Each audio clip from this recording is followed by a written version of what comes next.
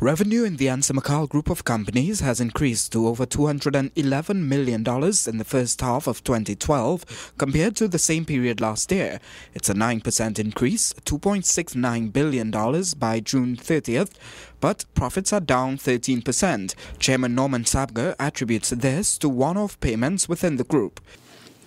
We have made one-time provisions in our Barbados business, oh, our Barbados financial business, where we made $45 million in provision in our financial sector.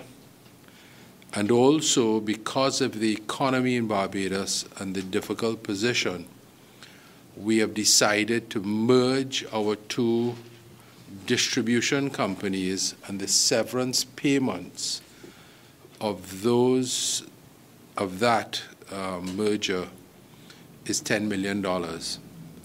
Both of those costs are non-reoccurring. Furthermore, he says the group has decided to address a big debt. We have decided to repay our debt. We've actually repaid a $780 million bond. And as a result, our gearing is down to less than 1%, 0.7%.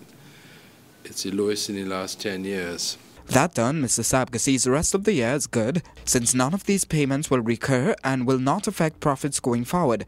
With the Heineken brand now acquired by the group, he forecasts further growth in the beverages sector.